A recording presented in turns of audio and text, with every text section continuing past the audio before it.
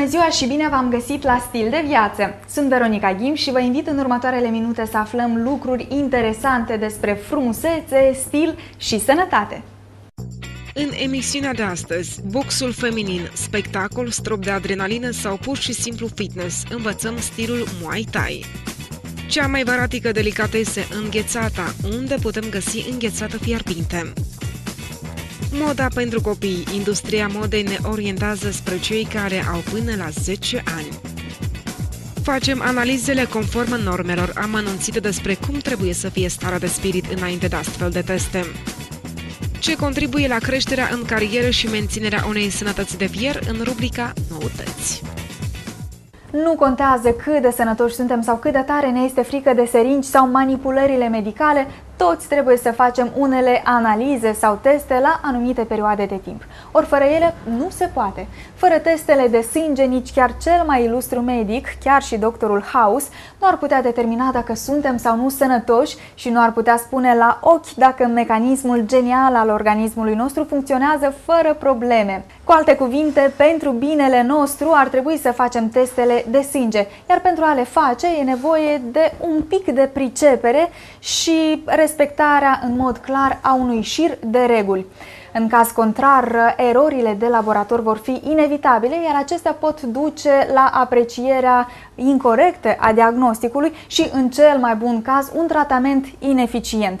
Iar în cel mai rău caz, nici măcar nu vreau să vorbesc despre aceasta. Mai devreme sau mai târziu vine un moment în viață când fiecare resimte pe propria lui piele celebra glumă medicală, potrivit căreia nu există oameni sănătoși, ci mai degrabă bolnavi care se ignoră. Fiecare control medical începe întâi de toate cu testul de sânge. Anume, rezultatul acestui test ne indică în ce stare este ficatul, rinichii, glandele endocrine și, în general, metabolismul nostru. Există câteva reguli de bază de care ar trebui să ținem cont înainte de a merge la laboratorul biochimic. Analiza sângelui se face face pe stomacul gol după 8-12 ore de la ingestie, astfel încât medicul se poată evalua obiectiv starea proceselor metabolice din organism. Analiza se dă de regulă de dimineață, este de dorit să fie până la orele 12. Analiza generală a sângelui este să ia din vână, să ia din deget, deci se efectuează tot, tot de la orele 9 până, de la orele 8 până la orele 12.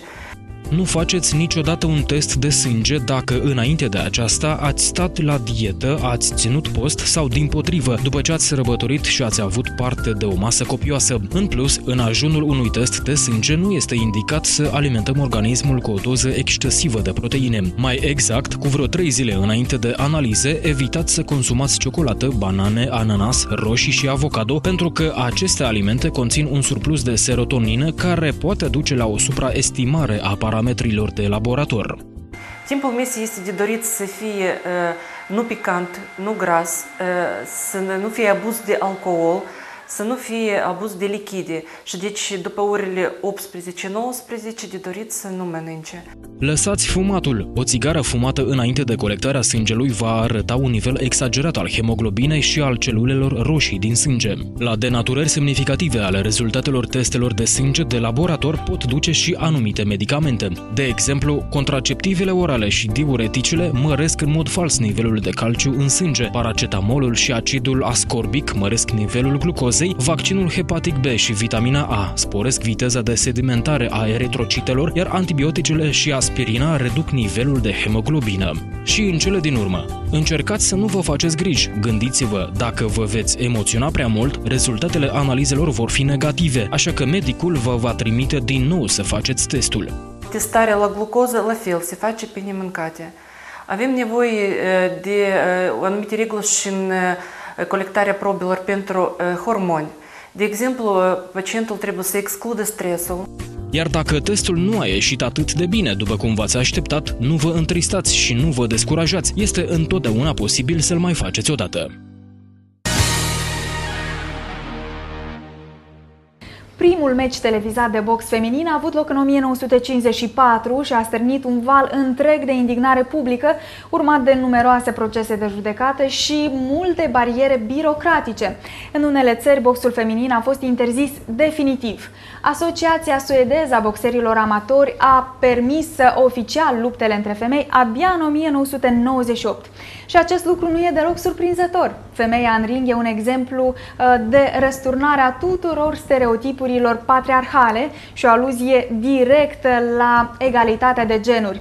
Dar pentru că încăpățânarea femeii nu știu dacă ar putea fi comparată cu ceva, așa că astăzi boxul feminin a fost inclus în programul Jocurilor Olimpice de Vară din 2012, care se vor desfășura la Londra.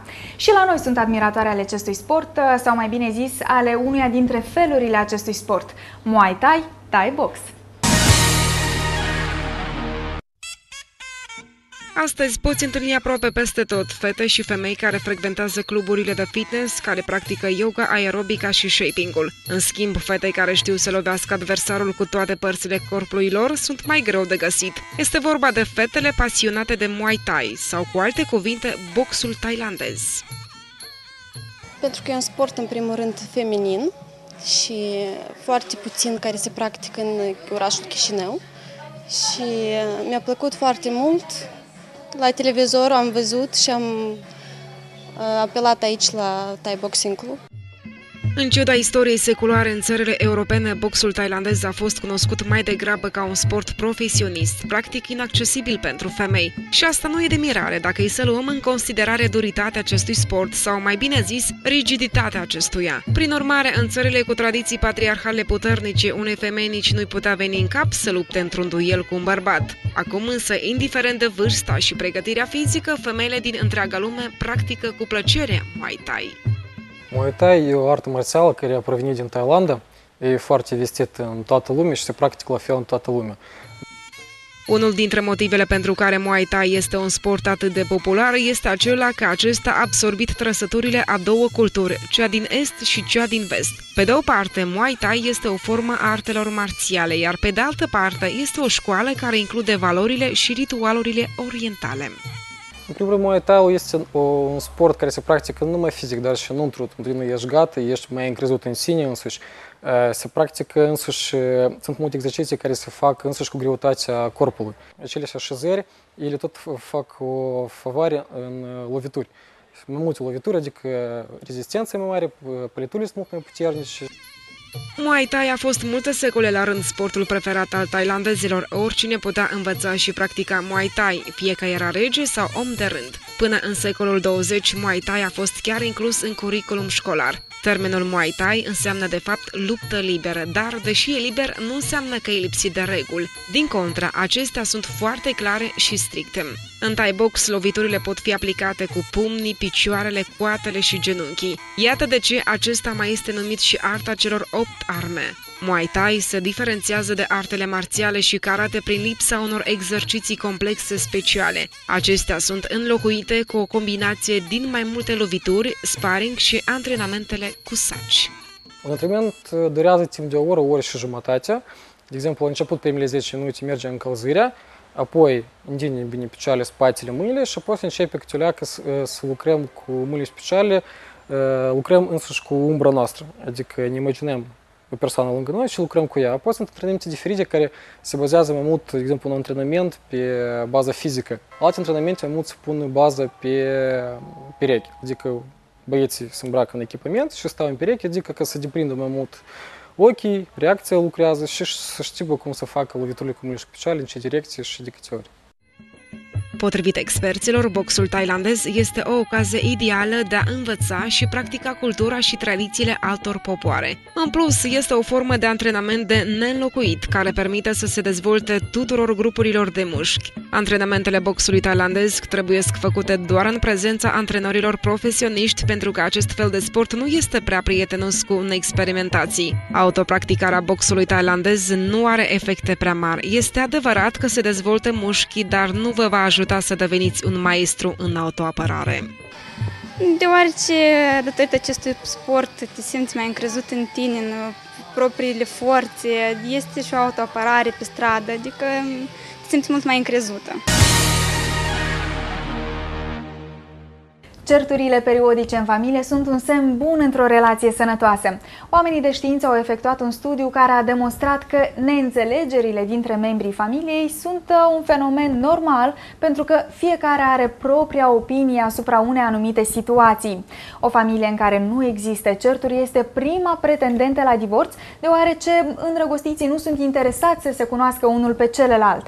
Potrivit psihologilor, după ură vine dragostea, așa că trebuie să vorbim despre lucrurile care ne deranjează, pentru că acestea să nu se adune și să uh, provoace depresii sau uh, dorința de a face în ciuda celuilalt. Alte noutăți aflați chiar acum.